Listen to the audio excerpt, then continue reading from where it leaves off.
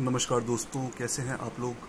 तो मैं world cup का सिंस आगाज़ हो चुका है तो मैं अपने वर्ल्ड कप के प्रिडिक्शंस देने आया हूँ अपनी तरफ़ से। एंड ऑब्वियसली ये प्रिडिक्शंस रीसेंट फॉर्म पे जो मैं पिछले 25 साल से भी और पिछले चार साल से भी, पाँच छः साल से क्रिकेट रीसेंट जो क्रिकेट देख रहा हूँ। मैचअप्स के बेसिस पे आईसीसी टूर्नामेंट्स के परफॉर्मेंसेस के बेसिस पे, वो दे रहा हूँ। टॉप टू टीम्स मेरे हिसाब से दोस्तों होने वाली है इंडिया और इंग्लैंड इंडिया इसलिए मुझे ऐसा लगता है क्योंकि रिसेंट अच्छे फॉर्म से हम गुजर रहे हैं। काफ़ी अच्छे हमने प्लेयर्स चुने हैं टीम का बैलेंस बहुत अच्छा है। एंड सारे ही प्लेयर्स ज़्यादातर प्लेयर जो है वो फॉर्म में हैं और अपनी पोजीशन बना चुके हैं और होम कंडीशंस हैं। England because of their batting plus their fielding they've all the bases covered batting जिस तरह की इंग्लैंड करती है इंग्लैंड ने दुनिया को दिखाया वनडे क्रिकेट में कैसे बैटिंग करनी है।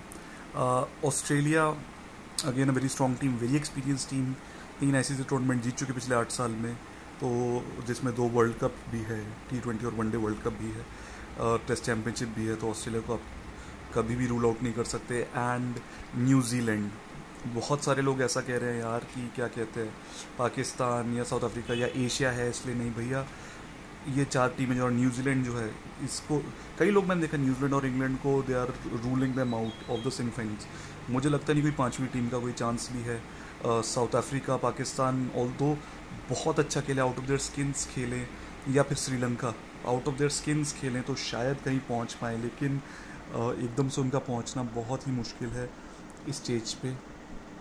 सो या मतलब बहुत कंसिस्टेंसी दिखानी और वनडे क्रिकेट जो है एक एक बड़ा फॉर्मेट है टी ट्वेंटी से कंपेयर तो आपको बहुत कंसिस्टेंसी दिखानी और बहुत लंबे समय तक कंसिस्टेंट क्रिकेट खेलना है फिफ्टी ओवर्स खेलना आना जो है और बड़े साइड्स के अगेंस्ट वो उसमें एक्सपीरियंस ज़रूर कम आएगा। Percentages India and England I both give, give them 30 to 35 percent although based on on on paper england is 35 percent India को मैं 35 देना चाहता हूँ लेकिन आईसीसी टूर्नामेंट्स में इंडिया ने नॉकआउट्स में जिस तरह से डिसअपॉइंट किया है I sure I am sure I hope इस बारी इंडिया उल्टा करे उस चीज़ को और ऑल द वे जाए कम से कम भारत फाइनल तक पहुँचे। ये चारों टीमें सेमीफाइनल तक पहुँच रही है मुझे उसमें कम डाउट है। uh, लेकिन आई रियली वॉन्ट कि मतलब इंग्लैंड थर्टी फाइव परसेंट दे सकते हैं इंडिया को आप थर्टी दे सकते हैं। मैं चाहता हूँ इंडिया थर्टी फाइव पे हो और इंग्लैंड थर्टी पे हो। दि, दिमाग कहता है इंग्लैंड थर्टी फाइव दिल कहता है इंडिया थर्टी फाइव एंड मैं दिल की सुनते हुए इंडिया को मेरे फेवरेट्स कहूँगा। ऐसे बोल देते हैं। ऑस्ट्रेलिया न्यूजीलैंड इन दोनों को मैं फिफ्टीन टू ट्वेंटी परसेंट दूँगा। Australia because of their injuries otherwise Australia ने जिस तरह से इंडिया से ओडिया सीरीज़ में खेला था आ, साल के शुरू में और टेस्ट चैम्पियनशिप में इंडिया को हराया था आ, और इंडियन कंडीशंस हो या कोई भी कंडीशन हो वर्ल्ड कप दुनिया के हर कॉन्टिनेंट में वो जीत चुके हैं। एंड ऑस्ट्रेलियन जो एक स्पिरिट है उस बेसिस पे। लेकिन इंजरीज और मुझे लगता है स्पिन डिपार्टमेंट ऑस्ट्रेलिया ने ज़्यादा स्ट्रॉन्ग किया नहीं। एंड मिचेल स्टार की जो स्विंग है उसके अलावा जो है उनका जो पेस बॉलिंग डिपार्टमेंट है खास करके जो उनके फोर्थ फिफ्थ बॉलर्स है कैमरून ग्रीन वगैरह मुझे लगता है या Marcus Stoinis I think they are not in the best of form and they are they haven't discovered the best form yet इस तरह से भारत के लिए हार्दिक पांड्या वगैरह ने किया है।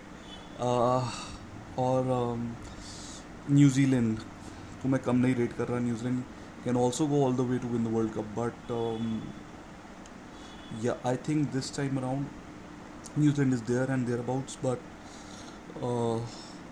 contrary to जो जो न्यूजीलैंड ने हमेशा इंडिया को हराया है, या फिर मैचअप्स में ऑस्ट्रेलिया न्यूजीलैंड को हमेशा हराती है, मुझे लगता है, या इंग्लैंड न्यूजीलैंड का जिस तरह से होता है, मुझे लगता है इस बार कुछ अलग होने वाला है, जिसकी वजह से न्यूजीलैंड शायद से सेमीफाइनल में रह जाए। हमेशा की तरह शायद फाइनल में ना जा पाए। हो सकता है सेमीफाइनल जाए। अगर सेमी अगर फाइनल में पहुंचेगी न्यूजीलैंड तो वर्ल्ड कप जीत भी सकती क्योंकि they have they have shown that they have it and her stage से ये चारों टीमें एक्चुअली पिछले सात आठ साल में हर फ़ेज़ से गुजर चुकी है। हार हर तरह की देख चुकी है। इसलिए कुछ भी कहना बहुत मुश्किल है, लेकिन यहाँ इट्स दीज फोर टीम आपका क्या कहना है? राय बताइए